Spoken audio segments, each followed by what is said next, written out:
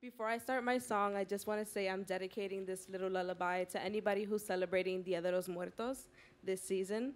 A little moment of remembrance for our people. I hope you guys enjoy.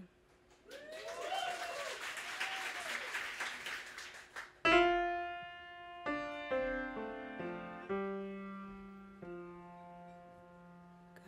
nothing to give you but a